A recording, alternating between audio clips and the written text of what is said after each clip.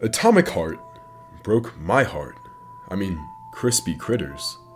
What happened?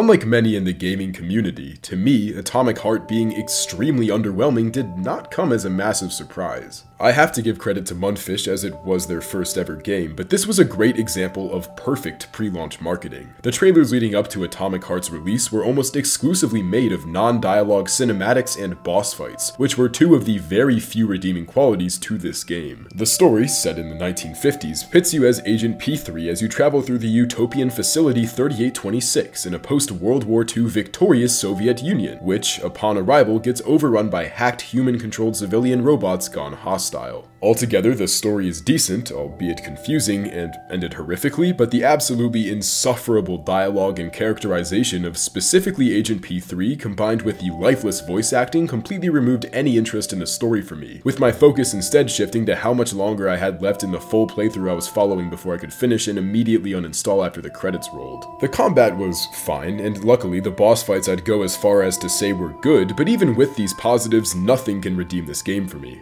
But for the sake of the video, I'm glad the bosses were once again quite fun. For note, about half these bosses I fought on Peaceful Atom and the other half on Local Malfunction, this game's version of easy and medium difficulty. I found that the bosses were extremely unbalanced, and not just each boss having vastly different amounts of health individually, but in most cases, the same boss having literally 5 to 6 times as much or less health on separate difficulties. Also for note, I opted on not using the Fat Boy so as to get a fair experience with each fight. Atomic Heart was fucking bad, but at least the boss fights were pretty damn good relative to the dumpster fire of a game they exist in. Let's get into the ranking.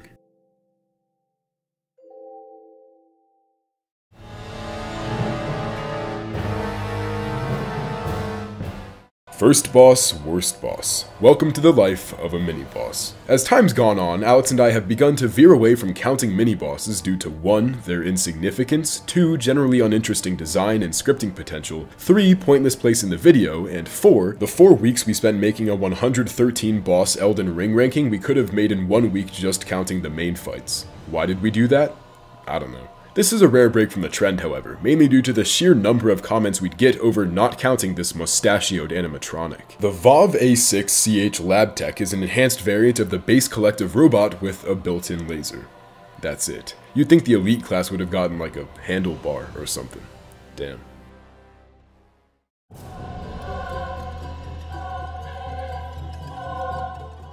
Hell yeah, Plyusch was the first boss shown off way back in 2020, and it holds up fairly well three years onwards. The Plyusch is a polymer muscle endoskeleton, and like you'd expect of a polymer muscle endoskeleton, it's pretty unclear what's going on ever.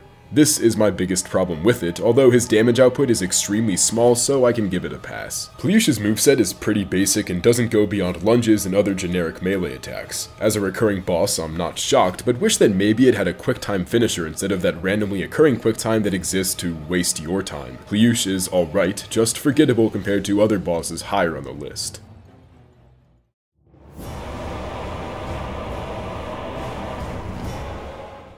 Fuck, this fight is bad, man. More in an overall existence sense than the fight itself being bad. As you'll come to see, Left is actually one of this game's better bosses, but taking the same boss from earlier, cloning it, and making one of the clones basically unhittable, meaning it's just the exact same boss fight from 15 minutes earlier, but with double the amount of things happening at the same time, keep in mind you're in a first-person POV, was a horrific and lazy design choice. Trying to keep track of what's going on is like being in a room with strobe lights and fighting a ninja with one eye blinded. My brain just went into sensory overload after like 30 seconds of non-stop knockdown animations. Also, to my knowledge, left and right have no moveset differences aside from right's marble ball attack and, once again, her staying infinitely in air. And also, Left is exactly as you dispatched her like two minutes before the hour-long elevator ride up to Sechenov's office, so ultimately the twins being here isn't out of purely poor mechanical design, more an inherently lazy existence as their own boss.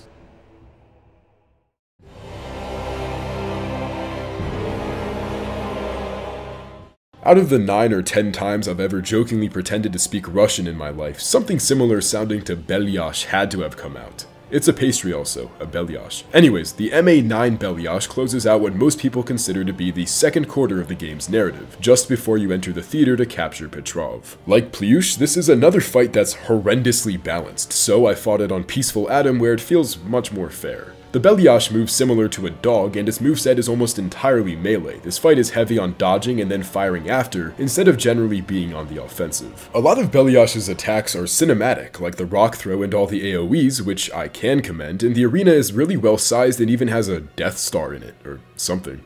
Cool. The second phase kicks off with Belyash going into a second gear, literally. He starts spinning his head until it ignites and begins lashing out fire-based attacks that leave the grassy field charred afterwards. This phase fucking kicks ass. Belyash looks visually cooler, his attacks have more spectacle, and the whole place is burning down around you. Belyash is a really fun boss that's only in the lower half due to really a lack of moveset variety.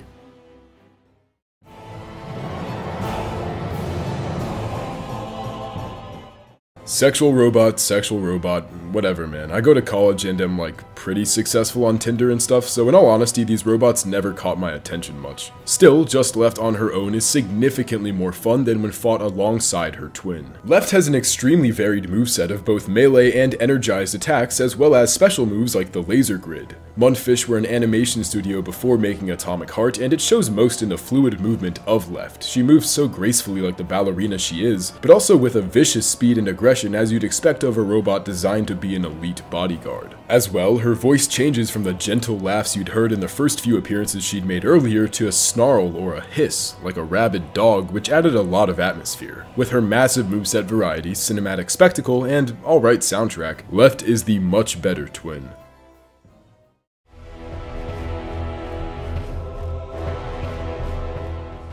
Dewdrop may have my favorite and maybe PETA's least favorite introduction cutscene of any boss in the game, and the fight that follows is a great display of the robot's abilities. Dewdrop's headlining mechanic is its extremely powerful laser, and it also has 8 limbs that it uses in melee. One thing I really like about the larger scale robot bosses in Atomic Heart is their movement. Dewdrop, like almost all the others, is constantly on the move and varies in how he gets from point A to point B. Sometimes it'll roll, sometimes it'll jump, and other times it'll just stay in place and unleash a heavy laser attack. Dewdrop's moveset is also extremely varied for a testicle on stilts, with a mix of horizontal and vertical lasers, stomps, and a second phase where polymer grows from its inside which in itself gives Dewdrop an entirely new moveset. It's also really neat that depending on where you are relative to Dewdrop, it has corresponding attacks with the laser, the most noticeable one being that when you're under it, it eventually fires off directly at you by straightening out its limbs so it can aim at where you are. And while almost all of Dewdrop's attacks I'd say are fair, the one polymer attack that has you stuck in a walled off alley as the robot does its best Orphan of Kos reenactment and sputters out balls of goo was pretty fucking bad. You can't really do anything when you're stuck in there, but otherwise the second phase was great overall. Dewdrop is extremely engaging and has my favorite physical design of any boss, rightfully earning its number 3 spot on this list.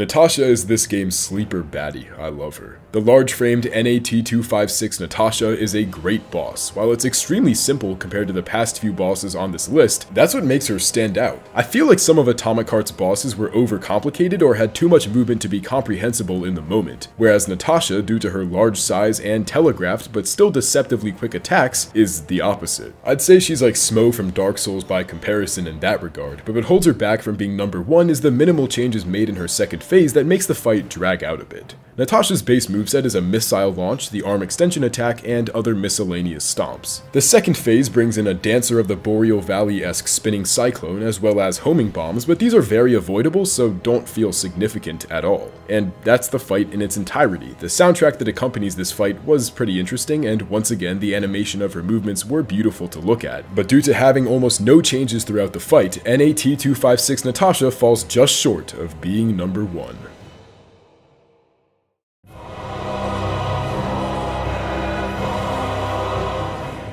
I'm really interested to see other people's rankings of Atomic Heart's bosses, as this game is extremely subjective in gameplay approach, and as such, I wouldn't be surprised to see some people rank Hedgie in the lower half of the bosses. But for me, the Hog 7 Hedgie was by far the game's best single combat sequence, and it all starts with its physical design. The initial cutscene on the train where Hedgie knocks the train down serves as a teaser for what's to come, and my god did they make Hedgie look great. The Hedgie is a ball-shaped robot with chambers storing limbs, turrets, and battery packs that open and close as the robot sees fit in combat. This design allows for super engaging gameplay, as Hedgie is constantly rolling around, jumping, and stabbing at you. Hedgie also uses his non-combat modes to fight as well. In Tumbleweed mode, he can move up to speeds of 30 miles an hour, however, you can use this to your advantage. The arena is loaded with towers you can use shock to reveal that if Hedgie rolls into, deal massive damage and also momentarily stun him, opening his batteries to even more damage. Aside from this bit of environmental design, every minute or so, Hedgie will tire out and stop moving altogether to recharge and open its energy batteries which you then blow up to deal damage. As the fight progresses, he gets more and more intense and even gains a suction attack that kills you on impact, an awesome special move that makes this fight stand out even more. The Hog 7 Hedgie is Atomic Heart's most experimental, unique, and engaging boss, by far the most thrilling combat sequence in the game and one of the better bosses in a first-person shooter I've fought.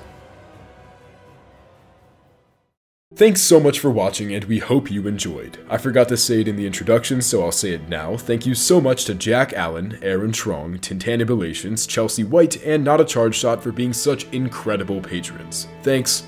All love. Even with Sonic 06. Which will happen eventually. Make sure to like and subscribe if you haven't, and otherwise be sure to check in weekly for new uploads. That's all for now. Deuces.